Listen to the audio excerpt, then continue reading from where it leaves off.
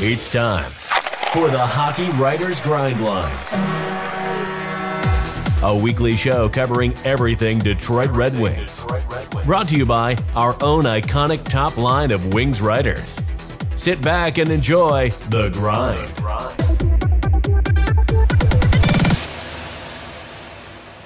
Welcome to the Hockey Writers Grind Line. I'm your host, Kyle Knopp, filling in for Patrick Brown, and I'm joined today with my line mate, Devin Little, and the Hockey Writers head prospect correspondent, Matthew Zator. How are you doing today, Matt and Devin? Doing good, doing good. Happy to be Thank here as always. Thank you for joining me. We're excited to have you here and uh, looking forward to chatting with you in a little bit. But first, before we get started, I want you to let you all know that this week's show is being brought to you by the Morning Skate, a daily newsletter delivered to your inbox Monday to Friday, jam packed with the best hockey stuff on the planet. It's a daily dose of the latest NHL news, rumors, history, funnies, quizzes, and more. Just a little hockey fun and information brought to you every day of the week to your inbox for free from the Hockey Writers. You can sign up below. You'll see a link in our description uh, below and sign up today and get your morning news delivered to your inbox every day of the week. All right. So, kicking off the show, we're going to start with the oldie but a goodie.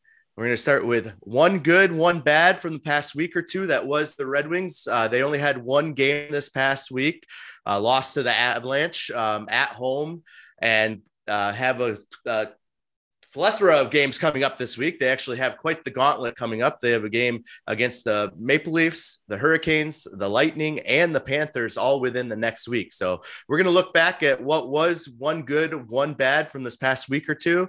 And I'll start with you, Devin. Yeah, uh, my one good for the week is, uh, you know, despite the uh, final result, I liked uh, the Red Wings fight in that game against the Avalanche. Um, you know, they they were the they weren't the the better team in the first period. I think I think they ended that period down to nothing. Um, and then second period, they came out and they really I, they they were the better team in that second period. And it just goes to show how uh, how much of a gap there is between the Avalanche and the Red Wings right now, where the Red Wings were the better team in that period, but they still closed the period down three to one. Um, so you know, despite you know really giving this team a uh, a um, you know a headache, um, and you know that that, that could have uh, a lesser team. A, you know, Red Wings teams from a couple of years ago would have taken that taken that as defeat, and it would have snowballed big time and uh, it didn't happen. And that's been a trend this season. It's it's it's uh, it's been really exciting to see. I, I love love their fight. Now, as for my one bad, um, you just kind of mentioned it. Uh, wait, they had one game this week, and you know you're sitting here waiting. Just you know, when when are the Wings playing? Wednesday. All right. Well, what do I do till then? All right. So they play their one game. Now we wait, and then who's up next? Toronto. All right. Well, then who's after that? Carolina. Oh, all right. Well, then who's after that? Florida, Tampa Bay. Can I get a break? Oh, no, this this is uh this is when uh the Red Wings are going to earn their uh, earn their stripes one way or another. So uh stay tuned for next week's episode to see see how it turned out for the Red Wings. Great insight. Absolutely. I absolutely agree. Uh, my bad that was going to be for sure the upcoming schedule. Looking into the future, uh, you know, like you said, the first period could be looked at as a bad. They came out pretty flat. I thought you, again, they recovered really well. The second period was definitely a good. Um, so I totally agree with you there. But yeah, that upcoming schedule, like I said, is a gauntlet. And like you said, is going to be the test of the season. Absolutely. Matthew, how about you? One good, one bad from this past week, whether it's the Red Wings or what you saw across the NHL.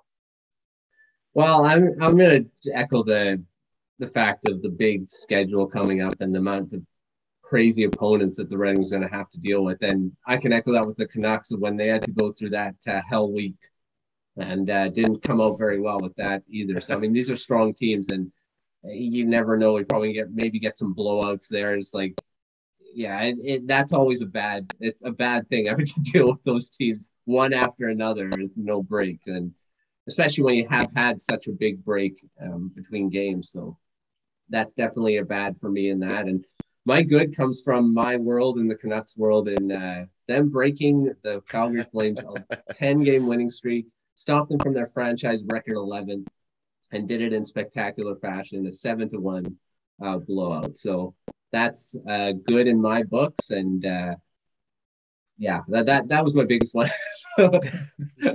yeah, uh, Pettersson, Horvat, and Yeah. JT Miller all had Yeah. a pair of goals in that last night, which uh, is quite astonishing, all coming from one team and against the tough team in the Calgary Flames, one of the hottest teams in the NHL right now. So, uh, yeah, that's uh, as a Canuck fan, as someone that follows and writes for the Canucks, um, all you other Canuck fans out there, you know you have some. Some of you are second tier, you know, or not second tier, but second team West Coast teams Canucks.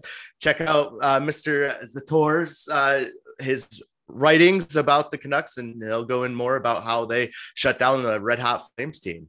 Uh, so moving forward, we're going to strap on our GM hats again this week. Uh, for the first segment, we're going to talk about a trade deadline. We're going to set the price for our Detroit Red Wings trade pieces. So, how much are you looking to get in return for Vlad Namestnikov, uh, Nick Leddy, or anyone else that might be on your list? So, I want to hear someone, maybe two or three players that you're looking to really shop this year, and then what your expected return is. And Matt, we will start with you. Well, I mean, the Red Wings are definitely going to be selling uh, some assets off uh, come the trade deadline. I mean, they put they put some good fight into the playoff push. I mean, being surprisingly where they are in the standings, um, a lot of people didn't think they would even be knocking on any playoff doors. So, but I mean, now the East is pretty much set. I think in the playoff race, they will be selling some guys. So, I mean, I'm looking at Nick Leddy as my biggest for the Red Wings because I mean he's a veteran presence. Uh, he's one guy that can help a playoff team, uh, maybe push him over the top, whatever. I mean he can play in the top four on a really good team. You know, being on even on the second or third pairing, that's huge. So I think the Red Wings could d- definitely get a first round pick um, out of him because of that. I mean the price at the deadline always goes up. Uh, I say Leddy's at least, a, at least, at the very least, a second round um, pick you'd want to get for him. Um, maybe even a mid-range prospect. You never know. But uh, a guy like that, and and looking like Namestnikov, another guy that's a you know playoff ready type guy. And, uh, he could be in the bottom six, play that uh, third line center role on a team, and uh, even being on the fourth line. I mean, a team like the Tampa Bay Lightning didn't get him back. you know, he was there. So, it, and I, I don't know, first round pick would be too much for him, uh, wanting that. But again, second, third rounder, anything that the Red Wings can get in this draft um, to increase what their rebuild is already accelerated, like you guys have mentioned on the show before. But those are the two guys I kind of look at a definite trade bait. Um, want to throw in Sam Gagner as another guy as well, and he's Yep. played really well for the Red Wings this Yeah. year. And um, saw him at the Canucks a bit, and uh, thought he was going to be a big piece here, but never happened. Um, but yeah, I, he's another guy again. Um, third rounder maybe for him, a mid range prospect. But uh, yeah, Red Wings are going to be getting some good assets for for these guys. I think.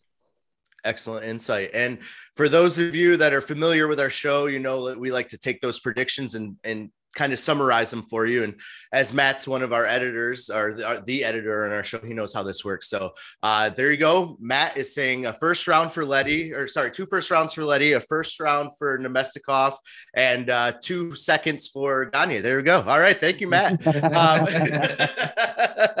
no, but I think I think you have you make some valid points. I think yeah, the price definitely goes up at the at the trade deadline, and I think we're all expecting Leddy's kind of already got a foot out the door.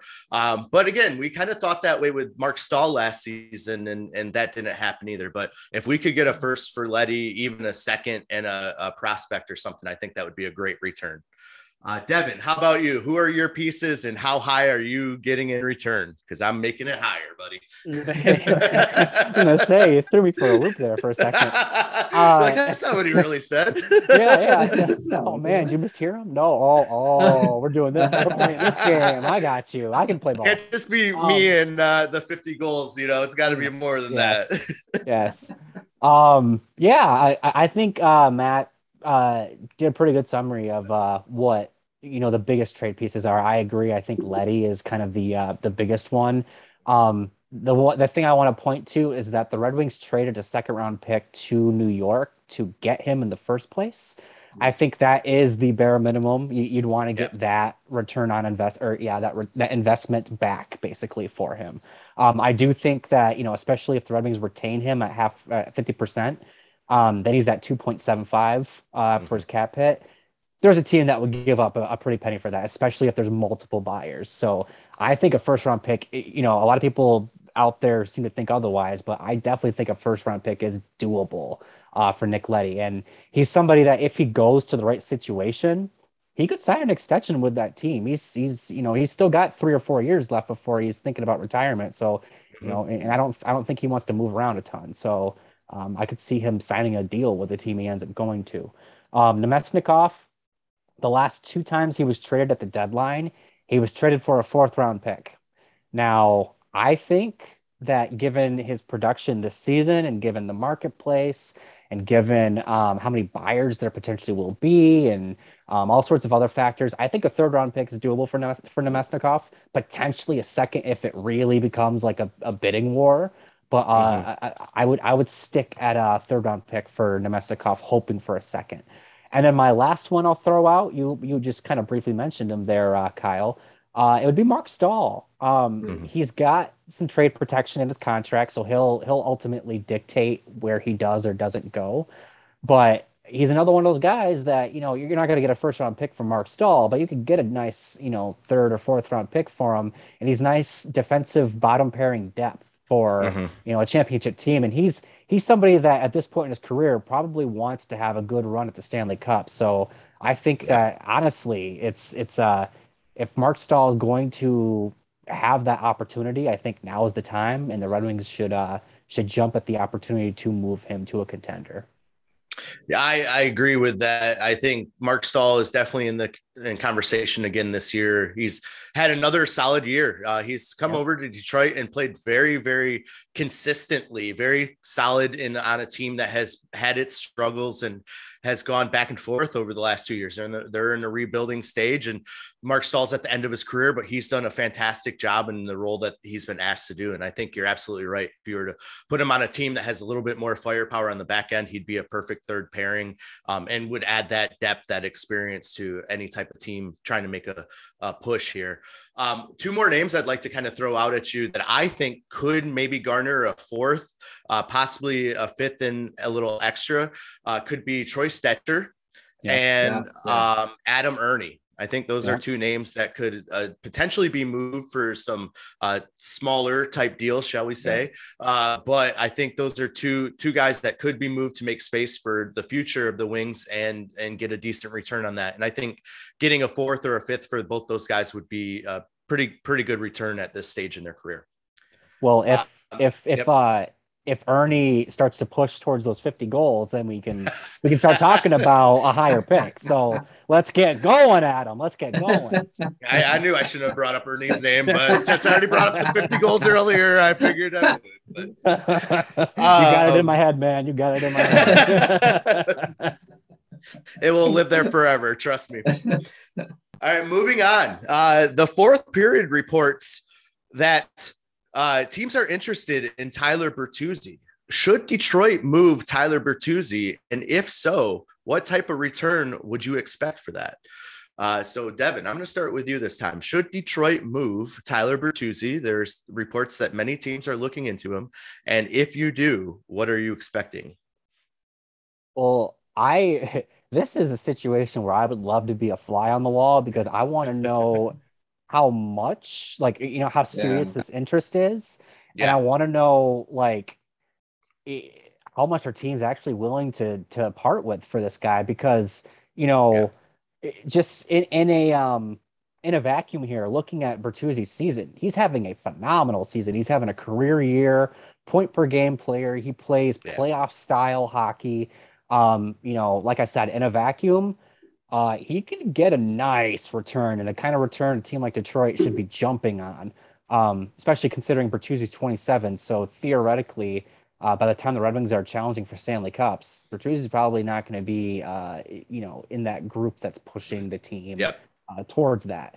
So, you know, I'm interested in shopping him, but I want to know how serious this interest is because, you know, we've talked about this on the show before. His his vaccination status. It's it's a uh, it's a hurdle, especially for teams that could potentially play like Toronto in the first round, um, Edmonton, so on and so forth. It's it's something you have to consider, and if if if it's coming from a team that doesn't necessarily have to worry about that, then uh, I, I definitely want to hear what the offer is. I, I I'm I'm going to say I'm not actively you know planning on trading Bertuzzi, but if the right offer is there and they're willing to do it this season of all seasons, why not?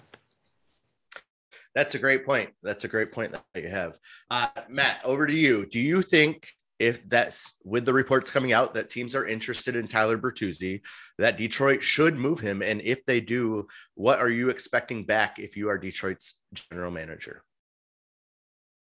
Well, I mean, this really, Devin put a great point there about his vaccination status. I mean, this is going to cut your, you know, partners uh, quite a bit, especially teams that are in like you say Toronto is a big one. Um, they're looking for forwards. They've been in the JT Miller talk as well, and uh, Bertuzzi would definitely be a guy they'd want to, you know, potentially push him over the top in the playoffs because he is. He definitely plays that playoff style hockey. Um, you know, is he on the market? Maybe, um, but I mean, the thing is, is he's had such a great season, and I think this is a guy that the Red Wings would, I think, should still keep around as part of the core. I mean, this is a this is a guy that's fit in. He's developed there really well. Um, you know, but if he is on the market, uh, you know, this return should be substantial. I think um, to, just because of his performance this year and uh, and the potential he still has. He's not old. He's still in that good range of age, and he's not getting paid a ton. I don't believe. Right, yep. his contract's not crazy. Um, so I mean, this is a this is something you could get first round pick. You can get a high, you know, blue chip prospect back in return for him. I think that's the range. I've been accused of overvaluing guys in the past. you know, uh, especially in Canuck land here with Miller. But I think, I think you have to at least say you, we want a first round pick for this guy. I mean, oh, absolutely. Yeah. Come on. I mean, he's not a veteran. He's not a guy that's going to be that's over the hill. And yeah, so definitely first round pick. And I even say throw in a blue chip prospect, you know, at least a mid range guy that, you know, has some potential. So, but I mean, we'll see. We'll see what happens a lot with these guys that never come to pass whenever these rumors are, but we'll see. Well, the good news for you is JT Miller is probably like the second or third highest free agent right now. I'd say behind like Claude Giroux and Chychrun. So uh, yeah. the fact that he's going to get a return if they end up moving him is going to make you look much better in that regard. So you know, kudos, yeah. kudos yeah. to you for being on the sell high on him all year because he's been having a fantastic season too, and and it looks like he'll be uh, moved for quite a bit of return. Yeah. Um, for yeah, for what it's worth, I believe the Red Wings should hold on to uh, Bertuzzi. I think if they are going to shop him and if teams are legitimately interested in him, I think you should absolutely pick up that phone and listen. Um, I would expect a type of return that uh, the Wings got for Mantha last season, you know, yeah. getting a Vrana yeah. type players to yeah. almost a one for one on a type of player, plus a couple of picks, uh, whether it's, you know, a first and a couple seconds or first, you know, second and a couple thirds or whatever that package is. I think it's going to come with um, another player that's somewhat uh, established or starting to be established and then some high draft picks just like you said matt. So um, yeah. great. Oh, go ahead. Devin? And i just want to throw out real quick that uh, this isn't a move that i think you make lightly. Um, yeah. the coach larkin everybody on that team talks about how Bertuzzi is one of the most well-liked guys in that room. And especially you know coming from the captain you you want to have those guys in the locker room. So if you are going to move him, it's gotta be for like a Mantha esque return to where it's it's too yes. good to pass up. You can't just like rush this, basically. Yeah, absolutely, absolutely. Uh, that's a great spot to take our first break. Uh, so don't forget to sign up to the Morning Skate, the Hockey Writers Daily Morning Newsletter. You can sign up at morningskate.io. Just put in your email, hit submit. You'll be added to our list. And every morning, Monday through Friday at 8 a.m. Eastern Sharp, I will be sending you an email to your inbox, and you will get all of our updated uh, hockey news, quizzes, funnies. You know, we try to make it lighthearted. We try to we touch on uh, real subjects. We try to do a little bit of everything, but if nothing else, we try to entertain you by bringing hockey news to you Monday through Friday, 8 a.m. Eastern in your inbox for free. Sign up morningskate.io. All right. Bills paid. So let's move on. Staying with the theme of fantasy GM. Who is one realistic player you would like to see Detroit acquire either now or during the off season. Uh, I'm going to go first on this one just because this is someone I brought up last week or the, two weeks ago uh, when I was on the podcast and I missed last week. I was at a hockey tournament um, and I feel like it's kind of a low hanging fruit. So that's why I wanted to jump on it because I see Devin over there nodding. I think we might have the same idea. So I'll just, I'll keep it simple and then I'll kick it over to him. But I'm going to go with Tomas Hertl. I think he's the type of player that can be plugged into your top two lines uh, and really almost make a more dangerous second line into a 1A, 1B type. Um, you know, you have Larkin and Bertuzzi and Raymond on one line with Hertl and Vrana and whoever else you want to throw up there to just crash the net. I mean, it, at that point, it doesn't matter, right? Um, so I'm going to go. I, I would like to see uh, Tomas Hertl uh, from the San Jose Sharks. And Devin, I will let you elaborate and or uh, tell me why I'm wrong with your pick. Um, who would you like to see the Red Wings acquire either at the trade deadline or this offseason? Well, I definitely don't think you're wrong. I, I'm I'm smiling here because I I I was hoping you were going to say Hertl because I, I kind of planned around the idea that you were going to say Hertl. So I, I, I, I, gave you a hurdle to jump over. Yes, yes, yes. And we wow. Yikes! All right. Uh, it's not the hockey. Hey, someone has to pick joke, up right? Pat Slack. yeah, yeah, yeah. You are owning it well, my friend. All right, uh, I've got I've got three players I want to throw out real quickly. I'm not going to elaborate too much on them. Uh, one uh, and I mentioned this in the comment section uh, on last week's show. Uh, pleasure talking to you all out there. Um, Hampus Lindholm from the Anaheim Ducks. Mm-hmm. Uh, I think that whether that's now or during free agency, I think that that is somebody that I am like circling on my chart, bolding, doing all the things. I'm I'm going to give him a good off- offer to try to get him to come to Detroit. Uh, we talk, you know, about how the defense is kind of letting this team down this year. Um, and while the team's biggest depth in the prospect pool is on defense, those kids still need time. And I think Hampus Lindholm um, checks a lot of boxes for this team. And I think it'd be it'd be really uh, really uh, beneficial for the team to bring him on. Two more, uh, Marty Necas. I don't know if he's that realistic, but he's he's a player that I've loved since his draft year. Uh, he's with the Carolina Hurricanes. I think we'd have to do a big type of deal to get him. Um, but playing him with Vrana and Zadina on one line, oh boy, that that that just that gives me uh, tingles in all the right places. Um, and then last but not least uh, is a Michigan native, and this comes off of the back of a report. I don't remember who said this, but apparently the Blackhawks are looking to sell pretty much everybody besides Seth Jones, Jonathan Toews, and Patrick Kane. So I want to see them go after Alex DeBrincat because Alex DeBrincat mm. is a 40 goal scorer as a yeah. 20 what four year old, 25. Yep, He's yeah. not that old. He's from Michigan. He's skill, skill, skill. Um, you can put him on a line with Larkin. You can put him on a line with damn near anybody, and he's going to make the line better. So I, I and at and at this point, I think the Red Wings could make a very, very good offer for him that I think would at least give the Blackhawks pause and consider it. I don't know if they actually take it, but they would consider it. Yeah. Interesting choices. I like all of those names. I think any one of those would make Detroit a lot more dynamic, which is uh, hard to say this season with how dynamic they have been. So, yeah. uh, very good choices, Devin. I'd be excited to see them go after any one of those. Uh, Matthew, how about you? Detroit GM hat on you are acquiring someone at the trade deadline and or in the off season. Who is it and why?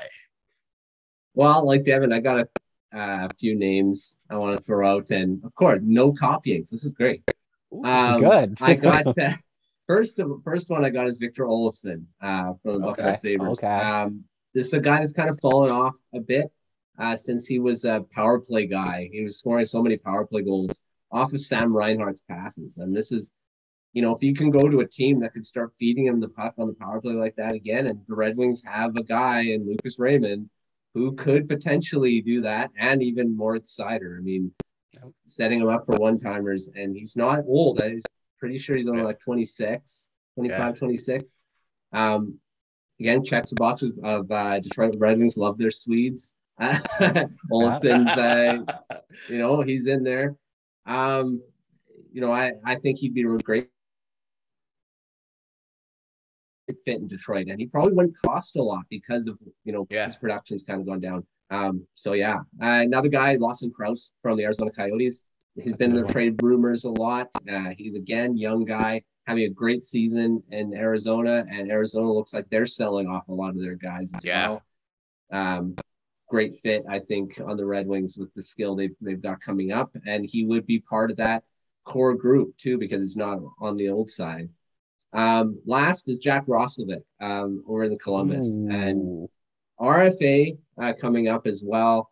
Um, he had such a great season with Columbus last year when he came over and the trade with the Winnipeg Jets, and he's not doing as well uh, with the new coach. And so, I mean, he may need a change of scenery. Uh, he's not the head, you know, he's not the main guy there, and that's what the thing he was when he was traded there. He seemed to fitting in on the top line. They're not sure if it's a centerman or a winger. It's all over the place. So I think he may need to change his scenery. I think the Red Wings may may be a great fit for him as well. I don't know what he would cost. He'd probably cost quite a bit. Yeah. Um, but we'll see. I, I think the Red Wings would do well to have any of those guys. And just quickly, last is Jeff Petry from the Montreal Canadiens because, again, need defense. Uh, he's kind of fallen off in Montreal, but I mean, he's still a great defenseman, and uh, you know, but I think he'd cost quite a bit.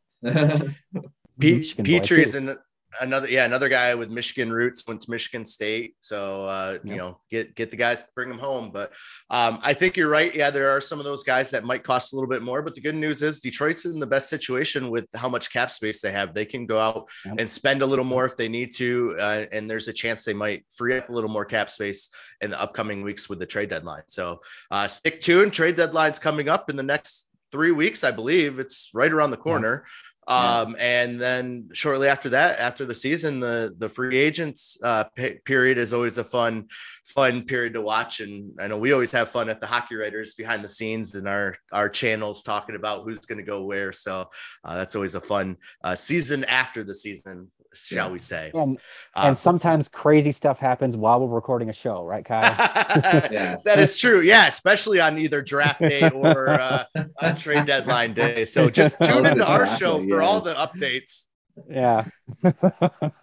so speaking of our podcast, what would a Detroit Red Wings podcast be this season without talking about Zadina?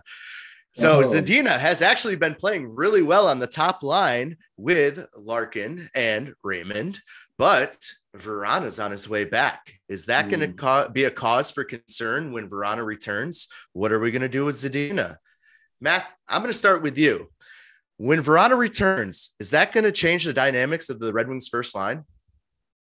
Well, I mean, Zadina's kind of starting to fit in there, right? Uh, but I mean, some fans would say he's increasing his trade value.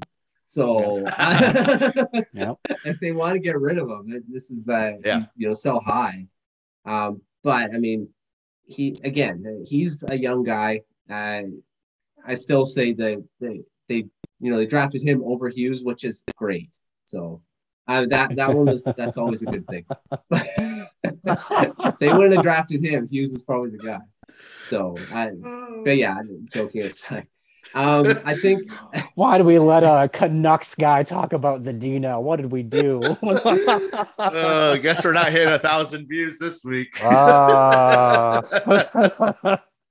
sorry, sorry. So, um, yeah. So, but yeah, I, I think when Vrana does come back, um, he's going to be in that top six, right? So, I mean, yeah.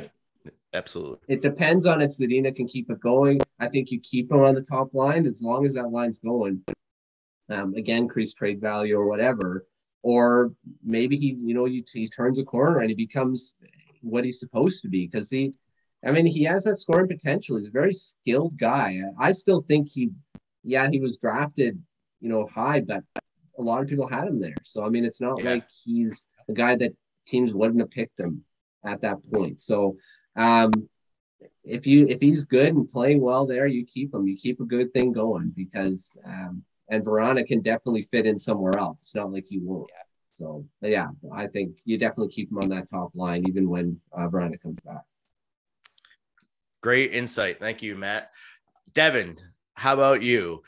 Zadina's been playing really well on that top line with uh, Larkin and Raymond. Do you keep him there, or how does he factor when Vrana comes back?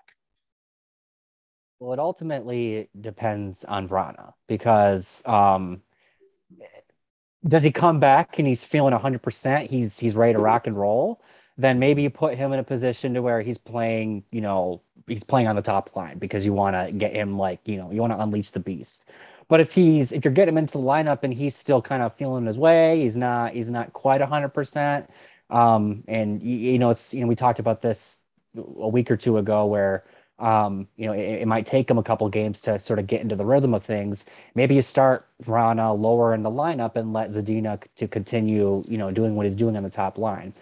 I think that for me personally, uh, well, a couple things come to mind here. One, since the day Lucas Raymond became a Detroit Red Wing, I've always envisioned Zadina and Raymond playing opposite each other because I feel mm-hmm. like they just kind of could play well off of each other um, especially with a center like Larkin between them. Um, and to kind of see Zadina all of a sudden playing well, it's like, well, yep, go figure. Um, That's what I said. but, but uh, but also, um, you know, we there is there, there's a reason why we keep talking about Zadina. It's because for the first half of the season, he was basically invisible. And where was he yeah. playing? He was playing on the second and the third line. So, what do you think is going to happen if you take him off the first line? Probably going to go invisible again, um, yeah. unless he's unless the lines get switched up in a way to where he's still playing with good talent. Maybe if he's playing with Bertuzzi, he might still put up some points. But I, I think that unless your plan is is to trade Zadina, I think you need to keep him going. Otherwise, you risk ruining him. And he's yeah. finally playing good this season. So let him continue to play good, even though you've got Vrana coming in. If Vrana's on your third line, I realize people hate that idea, but you've got some offensive depth yeah. because a guy yeah. like Vrana should not be on the third line. And if that's just how it rolls because that's how your lines are sitting, then I think you can feel pretty good about your lineup. Absolutely. And and think about all the the extra offensive chances he will get playing on the third line versus playing against yes. the top yeah. six shutdown yeah. center. So and, yeah. I and, mean and that's partially why I think they do need to start him lower in the lineup because yep. he is going to need some time to get going, and you don't want to have him facing Victor Hedman and uh, Adam Fox and all the top defenders. You want to have him facing the lower part of the depth chart. Yeah. Yes. Absolutely. Absolutely. All right. Final topic of the day keeping our uh, GM hats on, we're looking at just after the deadline. Detroit has made a couple of moves, freed up some space. What prospect would you like to see the Red Wings get a look at following that trade deadline shakeup? And Devin, I will start with you. I'm going to throw out two names real quick here. One, well, it, it, this will depend on whether or not he crosses the pond or not. Of course, it depends on his season over in Sweden. But I want to see Albert Johansson. Oh. Yes. Oh, okay, well, okay. hey, uh, I'm, a, I'm a big Johansson fan. Okay, okay, uh, we'll get on that trade too. I, I, I, thought, I, thought, we were getting another another. Uh, Edvinsson, is that you're talking? Coming up. Yeah. yeah. Got no, a little uh, ahead of myself. Sorry. uh, no, Johansson very well might be my train for next season. We'll see. Okay. Uh, okay. I, like I'm, that. I, I just want to see where he's at, and I think that uh, if if the opportunity is there, I'd like to see. Um, and then the other one, and this is the low hanging fruit, and I'm sure you know you guys can repeat it. Um, Berggren. Uh, he's, yeah. He's, uh, yeah. he's basically producing at a point per game in the AHL, and uh, even if it's just for nine games, I want to see what he can do in the NHL. I want to see if he's actually ready because he's looking like it. Yeah, absolutely. I think he he's at least earned the look if it's just for a game or two to get up and get his feet wet and you know have that cup of coffee this year. So next year he knows what it takes and he can come prepared coming into training camp. absolutely. Matthew, last word on today's show. Our guest, thank you for joining us. Who would you like to see? You are our prospects guy. Give us a name of someone that you would love to see come up in Detroit and get a couple of games this year and get a real good look. Well, obviously Berggren's a big name for me. I mean, he's so exciting. Um, but that's easy. I mean, anyone will say that. he's just such an exciting, exciting prospect. Oh, and uh, yeah, I, I, my last when I was head before Peter, I did that hundred and left him off the list. So I I apologize to all Detroit Red Wings fans. I left him it was off the Tim. top 100 last year. So that, and now he's back on it, I believe. Peter's got him there somewhere. So, uh, but yeah, there's the motivation I, I, he I'm needed. Gonna, yeah, yeah, he gets the there you go. Gets the Um, I'm gonna say a guy that's kind of maybe gone starting to become a fringe guy that you're not sure about. He's leading the, the Grand Rapids Griffins in scoring, Taro Hirose. Um, yeah. You know, he's he's done really well in the AHL, but can't seem to get a foothold in the NHL. I think he's played played a couple games this year, I believe. Yeah. Um, but I mean, again, he's an undersized guy. You know, his skill level, he's got he's got great playmaking skills. He can seem to be able to run a power play, at least in the AHL. Yeah. Um, but I mean, he doesn't seem to be able to gain much of a foothold in the NHL. Either it be that he's not getting a chance because of the strength of the prospects that the Red Wings have, um, that could be that he's he may need to be traded to get something going in another organization. But I'd like him to get given a chance to kind of do something. I don't know if he's even given yeah. much of a chance yet. Um, but you know he's proven in the AHL. But you know with those guys, they may actually just be AHL guys. Um, yeah. Can only produce there. There's plenty of them in the NHL, and, and you know in the AHL, like you know they produce so much in the AHL, they get to the NHL and they can't do it. So I'd like him to be given a chance to do it at least. So Hirose's my guy, um, apart from Berggren. I, I think you, yeah, brought up a great point. Just let him see what he can do. You have all these uh, talented young guys coming up. You know, a lot of them are are getting to be to that NHL ready uh, caliber. Why not take a look at the guys that you know are AHL products and see if they can make that jump because like you said a lot of times that just doesn't happen they're there are some really, really good AHL players that just could never uh, catch on in the NHL, and that's just part of the way that that the sport works. So, um, great insight. Thank you for that. Uh, thank you for joining. Uh, that is our show. But before we go, in case we have not convinced you with our first two plugs, sign up for the Morning Skate newsletter, morningskate.io. You can find it down there. You can follow me on Twitter. I'll I'll send you there. There's probably a link in my bio. If not, there will be tonight. Um, sign up. Morning Skate. M O R I N. Yes, M O R N I N G S K A T E dot I O.